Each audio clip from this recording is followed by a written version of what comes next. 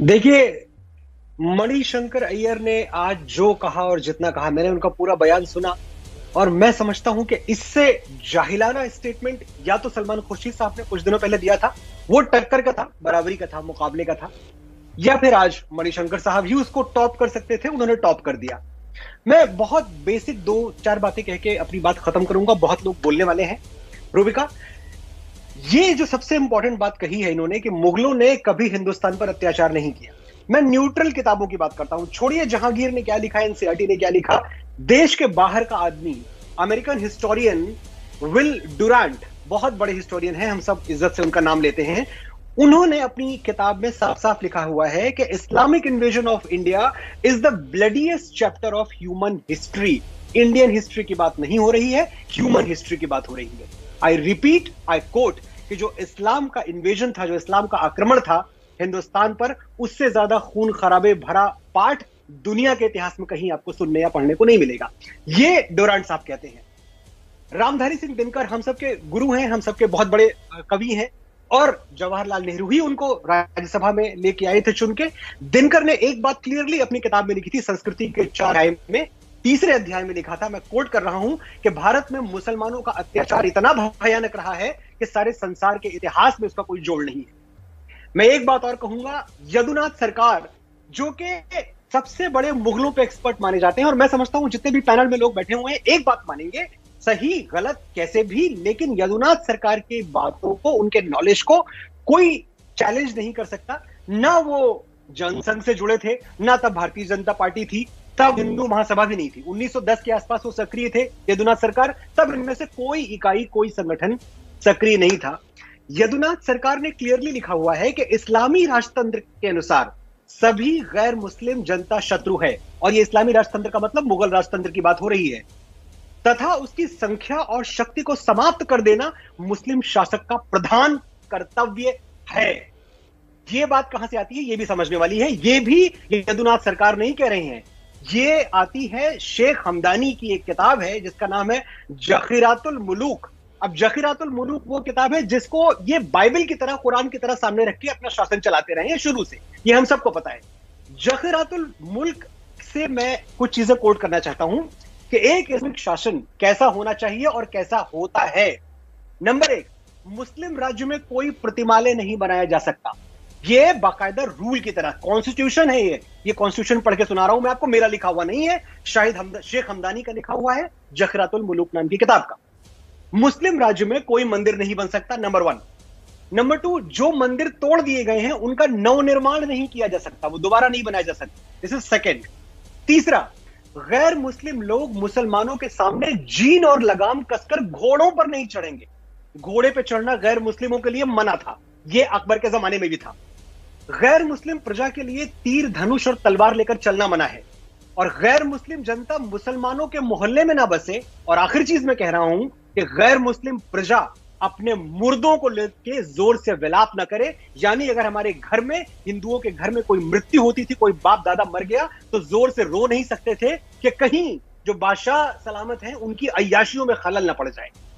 इस पे पूरा जो शासन है, वो चला हुआ है। सिर्फ़ तीस सेकेंड और और फिर मैं सबको बोलने दूँगा। अकबर को, जिसको सबसे ज़्यादा इन्होंने बोला, हमारे अकबर अकबर को मैं अपना मानता हूँ। ये तो खैर रहते अकबर रोड पे हैं, बिल्कुल बोलेंगे। मैं जानना चाहता हूँ कि पूरी ज़िंदगी मणिशंकर अय्यर साहब के दिल्ली में गुजरी है, स्टीफेंस में पढ़े हैं। मुझे बताएँ कि 1935 में बिरला मंदिर बना था। 1935 के पहले कौन से मंदिर आपको देखने को मिलते हैं? जामा मस्जिद जैसा क्या एक भी स्ट्रक्चर आपको दिल्ली में देखने को मिलता है? मैं पूरे उत्तर भारत की बात कर रहा हूँ। पूरे उत्तर भारत में कितने मंदिर बने? जबकि ये वही टाइम था जब साउथ में, दक्षिण भारत में एक से एक मंदिर बनाए जा रहे थे। तो जहाँ अकबरों का, औरंगजेबों का शाहजहां का जहांगीरों का और बाबरों का शासनकाल रहा है, वहाँ हिंदुओं को या किसी भी अन्य संप्रदाय को क्या तरजीह दी गई है? यह बात आपको समझ में आनी चाहिए। मणिशंकर अय्यर साहब को भी समझ में आनी चाहिए। और एक चीज़ आप देखें, अबुल फजल ने दो किताबें लिखी हैं, अकबर के बारे में।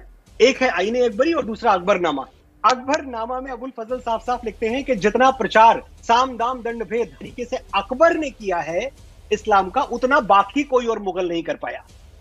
अब अकबर का नाम आने पे मेरा खून क्यों खोलता है? क्यों मैंने बार बार अकबर को ग्लोरीफाइड डकैत बोला और इसके बदले में मुझे पूरी जमात जो इनमें से कुछ लोग यहाँ भी बैठे हैं, इन लोगों ने मेरे ऊपर आक्रमण कर दिया। मैं एक बात समझ नहीं पाता और मैं समझना चाहता हूँ कि हल्दी घाटी से तकरीबन नौ साल पहले की बात है जब चित्तौड़ पे आक्रमण किया था अकबर ने। चित्तौड़ के आक्रमण का जो सबसे काला पन्ना है वो ये है कि 300 छत्राणियों ने जौहर किया अकबर की आँखों के सामने। उसको अकबर रोक सकते थे, लेकिन उन छत्राणियों को पता था कि ये अयाश आदमी हमको छोड़ेगा ही नहीं। वरना कोई हँसते खेलते और कोई अपनी मर्ज़ी से, अपनी खुशी से आग में नहीं कूदता। ये हम सबको पता है, इंसान इंसान होता है।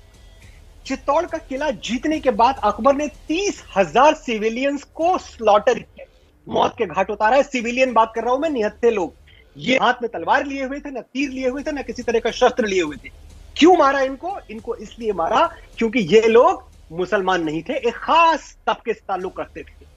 और अगर फिर भी आपको लग रहा हो कि ये तो मनोज मुंतशिर की मनगढ़ंत बातें हैं बनी बनाई बातें हैं तो मैं सिर्फ़ एक बार वो आपको पढ़ के सुनाना चाहता हूँ जो फतेहनामा चित्तौड़ फतेहनामा चित्तौड़ अकबर ने जारी किया था चित्तौड़ से निकलने के बाद।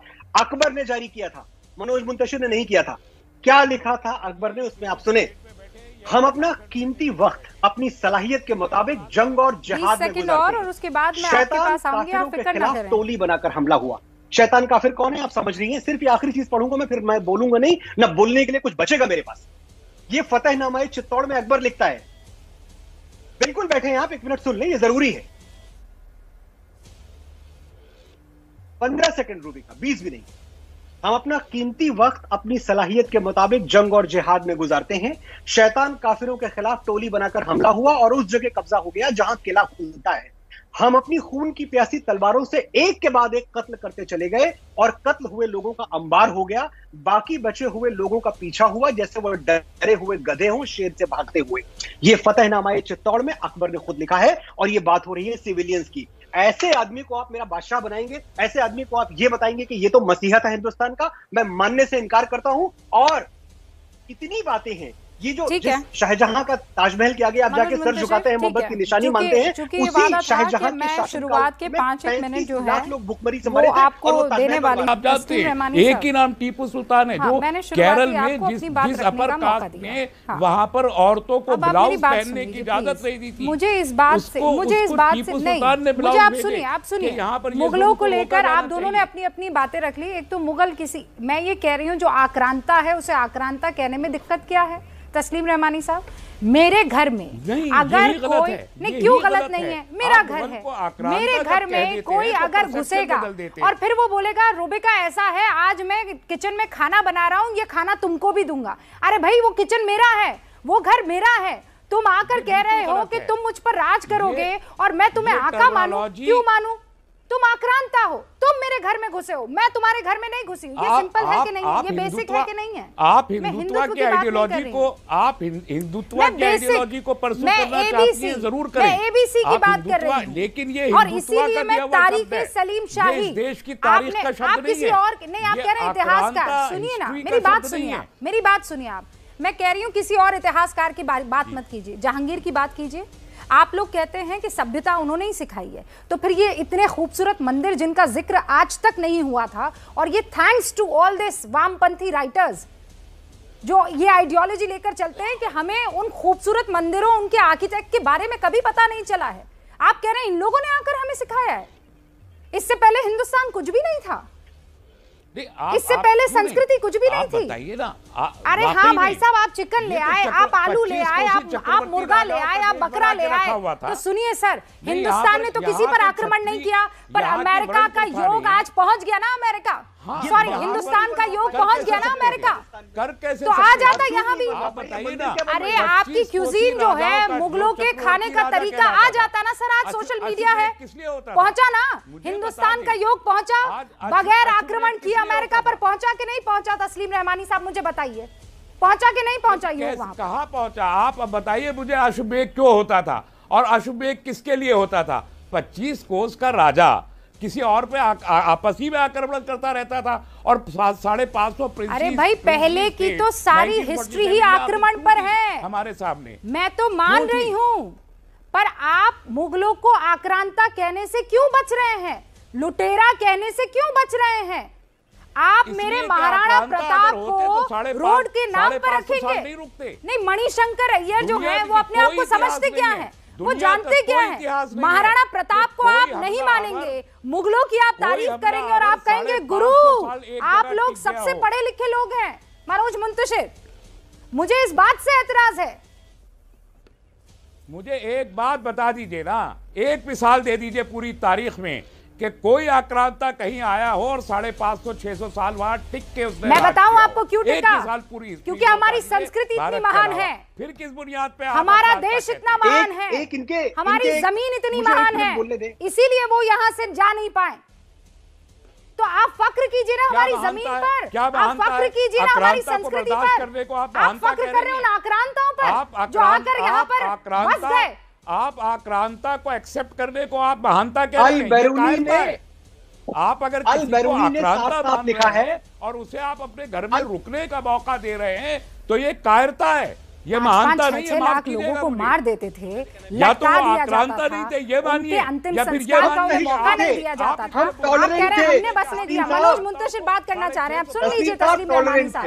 नहीं नहीं गलत इतिहास मेरे दोस्त तस्लीम साहब टॉलरेंट टॉलरेंस टॉलरेंस और कायरता में फ़र्क है। बुजदिली बुजदिली में और सहिष्णुता में टॉलरेंस में फ़र्क है।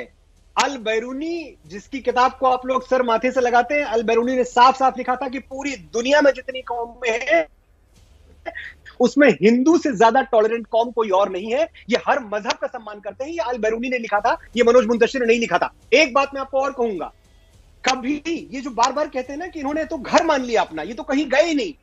सावरकर ने कॉलोनियल पावर माना है मुगलों को, और ये कॉलोनियल पावर थे खाली इनको कॉलोनियल पावर के तौर पर ट्रीट नहीं किया गया। इनकी जो पूरी की पूरी लॉयल्टीज थी ना, वो फरगाना की तरफ़ थी, जहाँ से बाबर आया था, इनकी पूरी लॉयल्टीज अरब की तरफ़ थी, उज्बेकिस्तान की तरफ़ थी, और अकबर तक के जमाने में इस बात के सबूत मिलते हैं कि बाकायदा यहाँ का पैसा, यहाँ का सोना वहाँ भेजा जाता रहा। और नए जमाने में आइए, और ये बात ध्यान से सुनिए, जितने भी लोग बैठे हुए हैं अलामा इकबाल को तो आप पता नहीं क्या समझते हैं और कैसे कैसे उनको आपने उपमान दे रखे हैं। अलामा इकबाल का एक शेर आपको मैं पढ़ के सुनाता हूँ। हो जाए इशारा अगर शाह खुरासन का। शाह खुरासन? खुरासन वो इलाका है जो ईस्ट इराक और वेस्टर्न अफ़गानिस्तान के बीच का इलाका है। इसको खुरासन कहते हैं। अल्लामा इकबाल कह रहे हैं कि हो जाए इशारा अगर शाह खुरासन का, सजदा ना करूँ हिंद की नापाक ज़मीन पर। हिंद की ज़मीन को नापाक बता रहा है आदमी अल्लामा इकबाल। よし!